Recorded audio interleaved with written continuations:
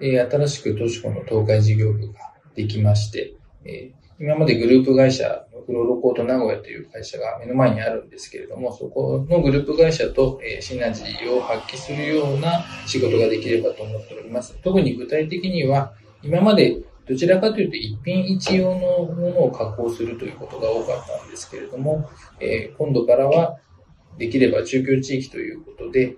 自動車部品を中心とした、え量産数のあるものに対してコーティングをすることができればいいと思っております。えそして我々の仕事を、え都市からコーティングで世の中からくっついて困るというものを、えさらになくしていきたいというふうに考えております。